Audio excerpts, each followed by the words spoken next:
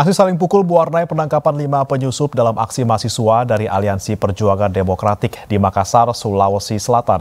Sementara ribuan buruh berunjuk rasa di depan kantor Gubernur Jawa Tengah.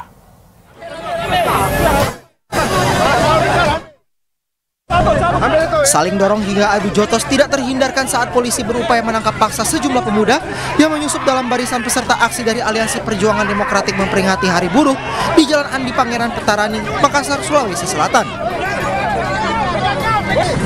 Kericuhan tidak terbendung saat mahasiswa terus menghalangi petugas yang disangka hendak menangkap rekan mereka.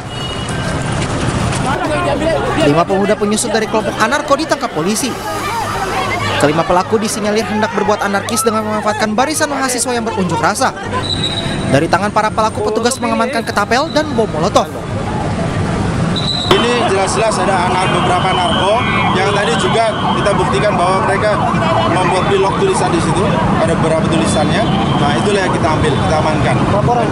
Uh, tadi aku kalau tidak salah ada sekitar lima orang kita ambil, kita amankan. Sementara itu ribuan buruh yang tergabung dalam Aliansi Buruh Jawa Tengah berunjuk rasa dengan mengepung kantor Gubernur Jawa Tengah di Jalan Pahlawan Semarang yang telah dipasang kawat berduri.